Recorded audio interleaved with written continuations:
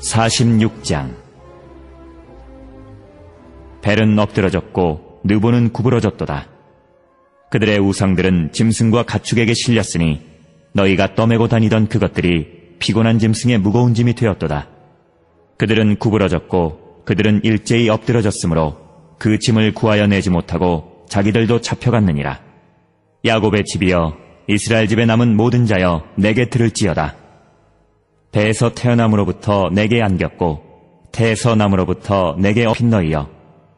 너희가 노년에 이르기까지 내가 그리하겠고 백발이 되기까지 내가 너희를 품을 것이라.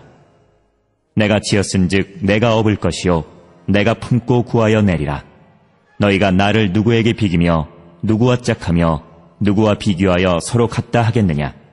사람들이 주머니에서 금을 쏟아내며 은을 저울에 달아 도금장이에게 주고 그것으로 신을 만들게 하고 그것에게 엎드려 경배하며 그것을 들어 어깨에 메어다가 그의 처소에 두면 그것이 서 있고 거기에서 능히 움직이지 못하며 그에게 부르짖어도 능히 응답하지 못하며 고난에서 구하여 내지도 못하느니라. 너희 패역한 자들아 이 일을 기억하고 장부가 되라. 이 일을 마음에 두라. 너희는 옛적 일을 기억하라. 나는 하나님이라. 나 외에 다른 이가 없느니라. 나는 하나님이라. 나 같은 이가 없느니라. 내가 시초부터 종말을 알리며 아직 이루지 아니한 일을 옛적부터 보이고 이르기를 나의 뜻이 설 것이니 내가 나의 모든 기뻐하는 것을 이루리라 하였노라. 내가 동쪽에서 사나운 날짐승을 부르며 먼 나라에서 나의 뜻을 이룰 사람을 부를 것이라. 내가 말하였은즉 반드시 이룰 것이요 계획하였은즉 반드시 시행하리라. 마음이 완악하여 공의에서 멀리 떠난 너희여 내게 들으라. 내가 나의 공의를 가깝게 할 것인즉 그것이 멀지 아니하나니 나의 구원이 지체하지 아니할 것이라. 내가 나의 영광인 이스라엘을 위하여 구원을 시온에 베풀리라.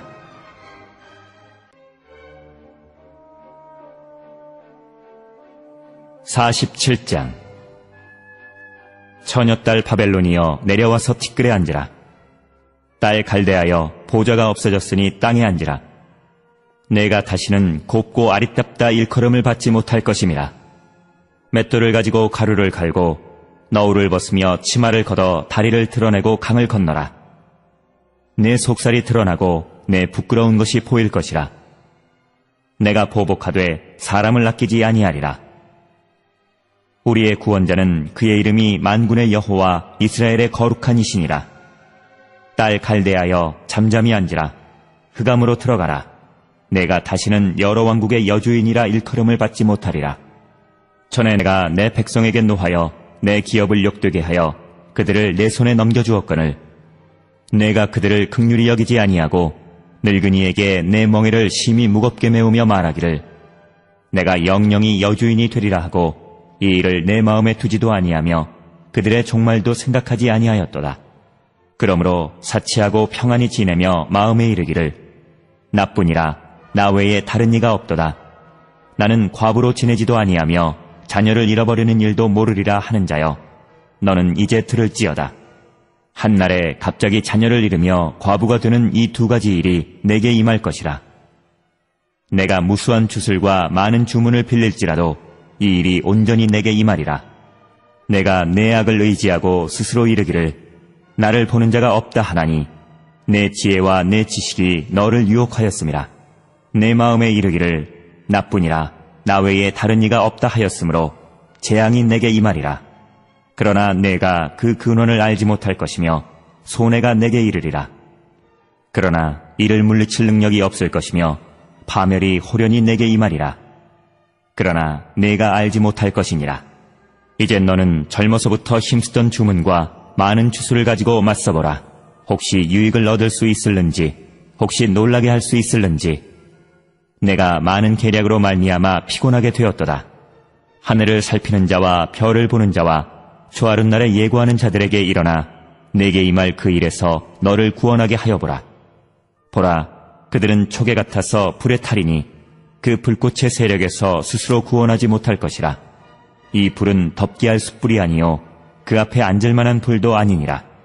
내가 같이 힘쓰던 자들이 내게 이같이 되리니 어려서부터 너와 함께 장사하던 자들이 각기 제 길로 흩어지고 너를 구원할 자가 없으리라.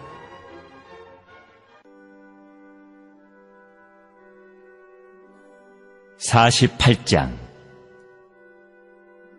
야곱의 집이여 이를 들을지어다. 너희는 이스라엘의 이름으로 일컬음을 받으며 유다의 허리에서 나왔으며 여호와의 이름으로 맹세하며 이스라엘의 하나님을 기념하면서도 진실이 없고 공의가 없도다.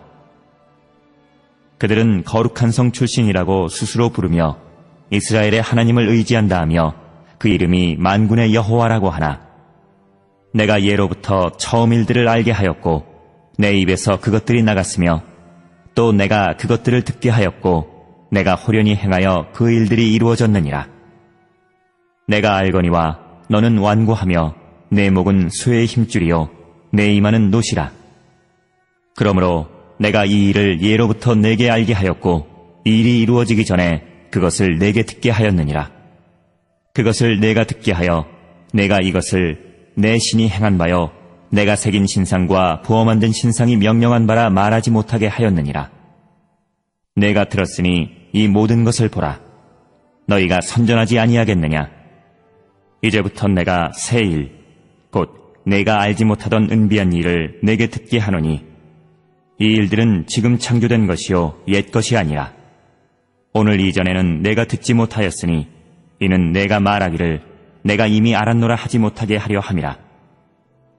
내가 과연 듣지도 못하였고 알지도 못하였으며 내 귀가 옛적부터 열리지 못하였나니 이는 내가 정령 배신하여 모태에서부터 내가 배역한 자라 불린 줄을 내가 알았습니다. 내 이름을 위하여 내가 노하기를 더디할 것이며 내 영광을 위하여 내가 참고 너를 멸절하지 아니하리라. 보라, 내가 너를 연단하였으나 은처럼 하지 아니하고 너를 고난의 풀무불에서 택하였노라. 나는 나를 위하며 나를 위하여 이를 이룰 것이라. 어찌 내 이름을 욕되게 하리요? 내 영광을 다른 자에게 주지 아니하리라. 야곱아, 내가 부른 이스라엘아, 내게 들으라. 나는 그니 나는 처음이요, 또 나는 마지막이라. 과연 내 손이 땅의 기초를 정하였고, 내 오른손이 하늘을 폈나니, 내가 그들을 부르면 그것들이 일제히 서느니라. 너희는 다 모여 들으라. 나 여호와가 사랑하는 자는 나의 기뻐하는 뜻을 바벨론에 행하리니 그의 팔이 갈대아인에게 임할 것이라. 그들 중에 누가 이 일들을 알게 하였느냐?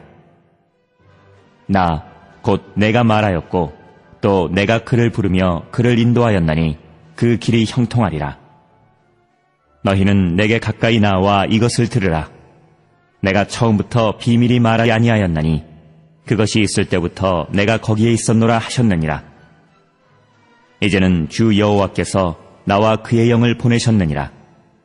너희의 구속자시요 이스라엘의 거룩하신 이이신 여호와께서 이르시되 나는 내게 유익하도록 가르치고 너를 마땅히 행할 길로 인도하는 내 하나님 여호와라.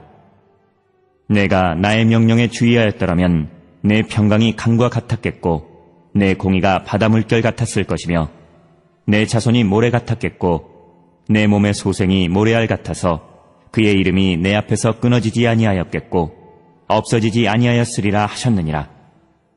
너희는 바벨론에서 나와서 갈대아인을 피하고 즐거운 소리로 이를 알게 하여 들려주며 땅끝까지 반포하여 이르기를 여호와께서 그의 종 야곱을 구속하셨다 하라.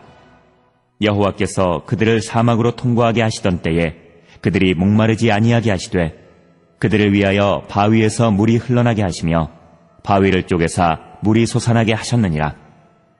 여호와께서 말씀하시되 악인에게는 평강이 없다 하셨느니라.